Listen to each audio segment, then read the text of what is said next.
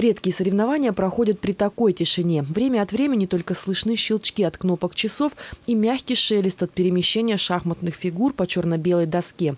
Концентрация внимания участников стопроцентная. Везение в этом виде спорта, конечно, присутствует, как и во всех остальных. Но, по словам ребят, здесь на него мало кто рассчитывает. Это небольшая составляющая всех шахмат. А везение бывает очень редко. В основном это зевки. Ну, в основном надо все-таки переигрывать. Ну, силой своей, а не удачей. Это третий этап всероссийских соревнований по шахматам «Белая ладья». Предшествовали ему городской и муниципальный. Омские школы и сельские выявляли сильнейших, а уже они собирались здесь. На решающих играх 10 команд. Победители получают путевку в финал турнира. К этим состязаниям особая подготовка. Во-первых, э, нужен режим дня, это обязательно, чтобы э, на партию приходить выспавшимся и не думать о том, что там в 11 лег.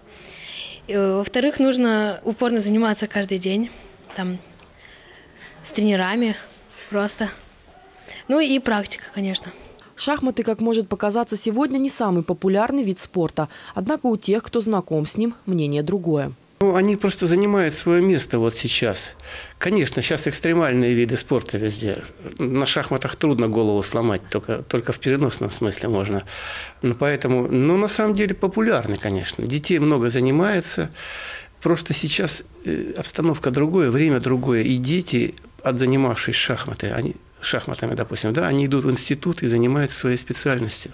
То есть раньше они могли себе позволить еще и шахматами продолжать заниматься, а сейчас, как правило, в институте они уже стараются получить специальность.